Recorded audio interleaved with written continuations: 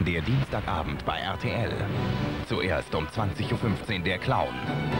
Das Leben von 600 Politikern steht auf dem Spiel. Um 21.15 Uhr im Namen des Gesetzes ein Priester unter Mordverdacht. Das ist Ihr Sohn, aber jetzt ist er tot. Danach um 22.15 Uhr Quincy. Der Fluchtversuch während einer Festnahme endet tödlich. Er hatte niemandem was getan. Und um 23.10 Uhr Burning Zone. Ein unberührtes Paradies wird zum Seuchengebiet.